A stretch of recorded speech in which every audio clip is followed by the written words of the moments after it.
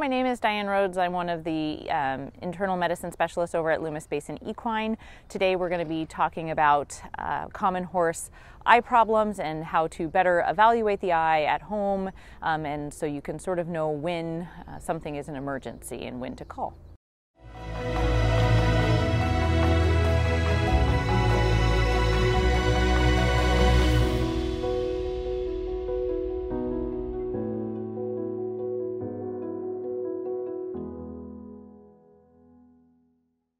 To start, in order to better talk about the eye in general, um, it's a good idea to have a general sense of some anatomy. So on the slide that we have for you, you can sort of see this is a close-up of a horse's right eye. And uh, it's just important when you're trying to describe where you're seeing a problem um, to know a little bit of the general anatomy. So we'll just go through that really quickly. So first and foremost, um, on the outside, we have the eyelashes, just similar to yours and mine. Um, and they have upper and lower eyelashes. The, if we stick to the left side of the screen, they have the corpora nigra, which are these sort of dilations around the iris, and some horses have very robust versions of these. So the next time you look at your horse, take a look at them because they're definitely a little bit of a funny thing that's sort of unique to the horse eye.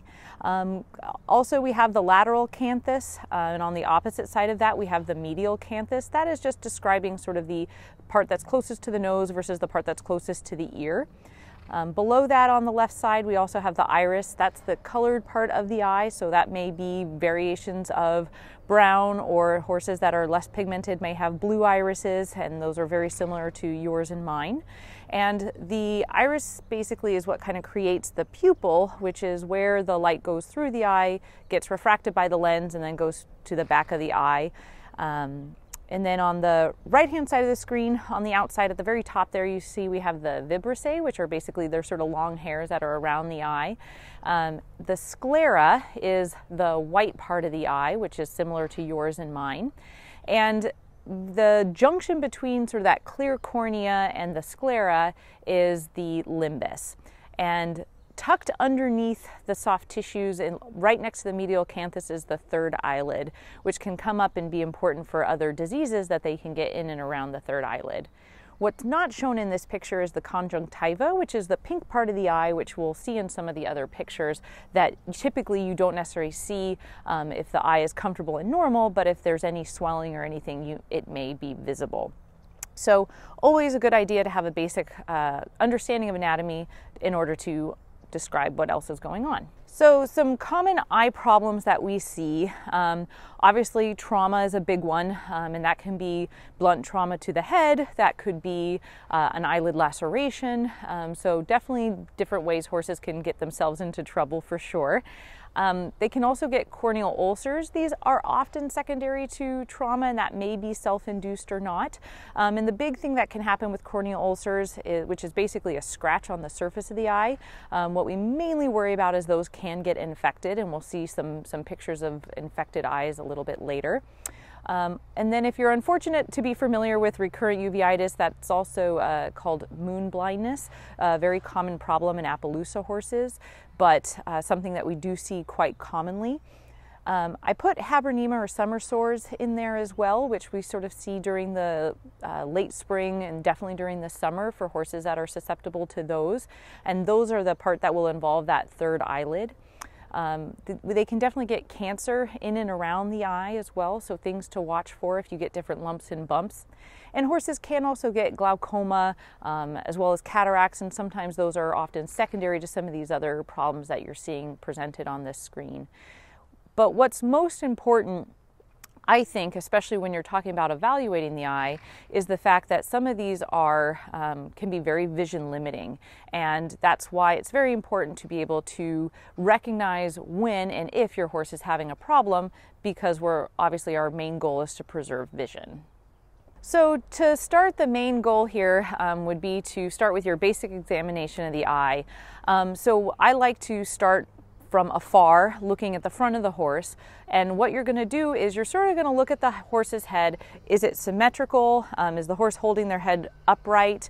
Um, or is there any tilt from side to side? And then, specifically, too, if you're looking at the eyes, I like to look for symmetry. Are they holding the eyes uh, symmetrically open? And I put little arrows over the eyelashes because that's a very, very nice trick. If you sort of look just at the angle of the eyelashes, you'll be able to see if one is slightly more open than the other, which is actually a, a very subtle change that may happen first when they're just starting to squint. It may be just a little tilt downward of the eyelashes that you'll notice. So, something to keep an eye on for sure while you're looking at the horse this way, the other things that you can notice before you just jump into to looking at the horse is that you can say, hey, are they behaving normally? Are they appearing that they're suddenly blind? Do they seem to be able to navigate their environment?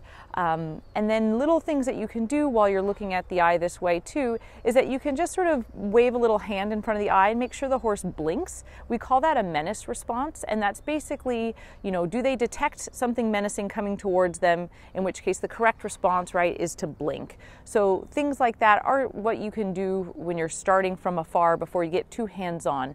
Remember, a lot of these problems that you're looking at or trying to detect may be painful. So start afar uh, because most horses uh, who are comfortable will let you examine their eyes, but remember they may be painful. So basically, um, to start with the examination, it helps to have a little bit of a dim room. Um, obviously, here at the hospital, we have exam rooms, but if you have a barn or a lean to, um, or just even a decent amount of shade, that can be helpful, especially if you're looking at home.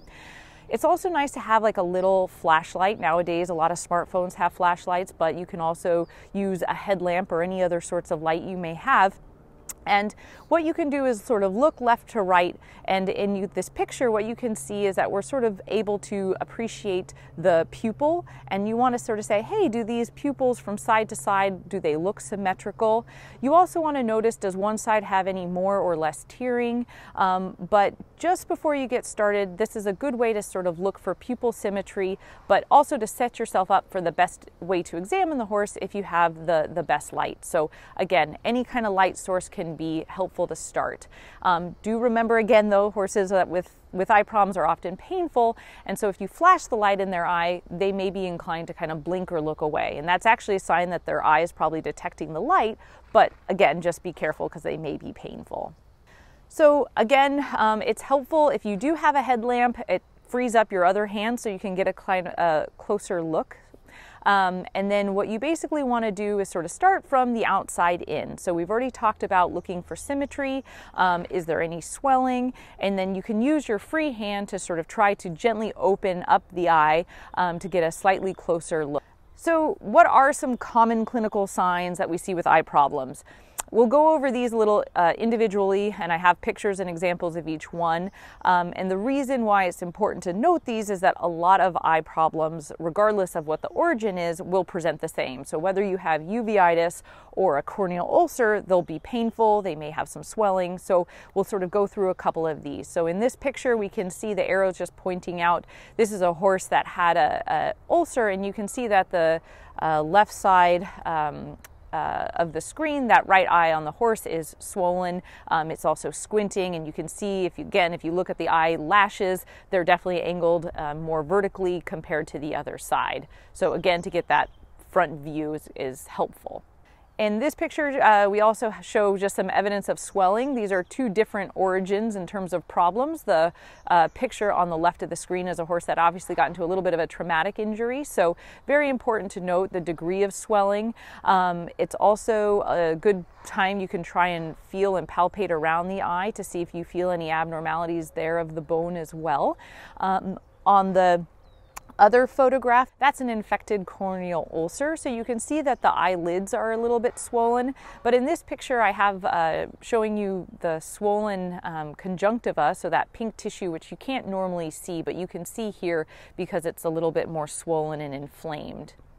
This is another uh, corneal ulcer, and similar to the previous picture, you can see that there's a lot of uh, ocular discharge. You can see that it looks sort of gooey around that medial canthus. And occasionally, when injuries or eye problems first present, the discharge may actually be very, very clear, and it just may be tearing more on one side than another. Um, and as things progress, or as you get infection that set uh, is set up, it may become sort of thicker. So things to to keep in mind. Another common problem that we see is redness. So in the previous picture, you could see there was red forming on the cornea, which were evidence of blood vessels there. This is another eye with uveitis, and you can see that sclera, which is normally white, in this photo is very, very red. So again, evidence of inflammation and um, very consistent with a painful eye. Other things you want to look for are cloudiness or changes to the color of the surface of the cornea. These are two different examples. The picture that you see on the left hand side of the screen is a very focal area where something is abnormal, so you want to keep in mind that sometimes it doesn't have to be occurring across the entire globe. Um, on the right hand side, this is again another infected corneal um, abscess, which is again unfortunately very common, but you can see that more of the eye is cloudy. And then you can see more centrally in the in the image that there's a more focal area that's a lot wider, and that's actually the site of a, an abscess within the cornea itself. You can also see just under the eyelashes uh, some redness on the cornea. Those are blood vessels um, that we see that are coming in to try and heal that ulcer. Um, the thing that's important about those when you start to see them, they typically take about three days to uh, show up and then they grow about a millimeter a day. So by using the vessels, you can get a little bit of an idea as to how long the problem's been going on.